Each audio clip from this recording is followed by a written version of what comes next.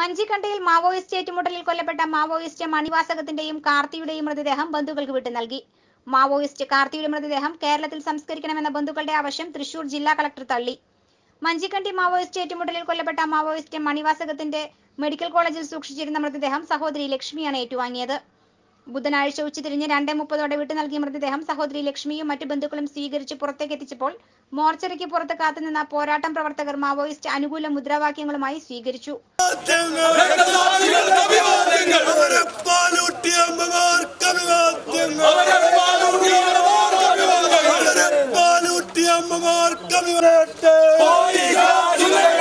വർദ്ധിതരുടെ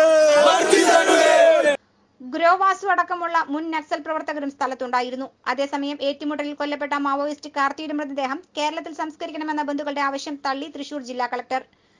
കാർത്തിയുടെ മൃതദേഹം കേരളത്തിൽ സംസ്കരിക്കണമെന്ന ആവശ്യവുമായി അമ്മ മീനയും സഹോദരൻ മുരുകേഷനുമാണ് കളക്ടറെ സമീപിച്ചിരുന്നത്. കേരളത്തിൽ മൃതദേഹം സംസ്കരിക്കുന്നത് സുരക്ഷാ പ്രശ്നമുണ്ടാക്കുമെന്ന പോലീസ് റിപ്പോർട്ടിന്റെ അടിസ്ഥാനത്തിലാണ് കളക്ടറുടെ നടപടി. മണിവാസവത്തിന്റെയും കാർത്തിയുടെയും മൃതദേഹങ്ങൾ ആംബുലൻസിൽ ജന്മനാടായ തമിഴ്നാട്ടിലെത്തിച്ച് സംസ്കരിക്കും. காலையிலேருந்து என் கூட இருக்கிற பீப்புளுக்கு ரொம்ப நன்றி காலையில் பார்த்தீங்கன்னா நாங்கள் இங்கே பாடி தியாகம் வந்திருந்தோம் வந்தால் எங்கள் ஊரில் ஆக்சுவலாக புதைக்க முடியாத ஒரு சூழல் ஸோ என்ன பண்ணோம் இங்கே திருச்சூரில் புதைக்கிறதுக்காக பர்மிஷன் கேட்டோம் போலீஸ் பீப்புள் வந்து அதை அலோவ் பண்ண முடியாது அப்படின்னு சொன்னாங்க. ஸோ கலெக்டர்கிட்ட போயிட்டு ஒரு லெட்டர் ஒன்று கொடுத்தோம். அவரும் வந்து என்னன்னா போலீஸ் பீப்புள் வந்து ப்ரொடெக்ஷன் கொடுக்க முடியாது உங்களுக்கு.